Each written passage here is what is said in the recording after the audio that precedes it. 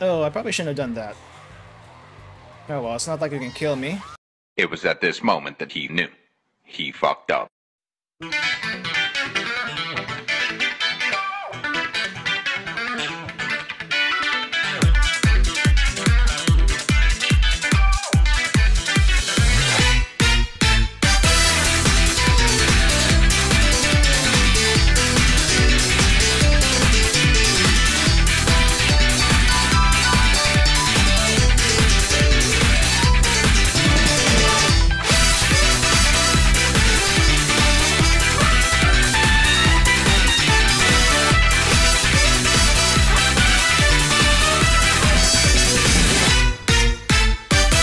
So you see about mistakes, this is why, this is why, this is what I meant about mistakes.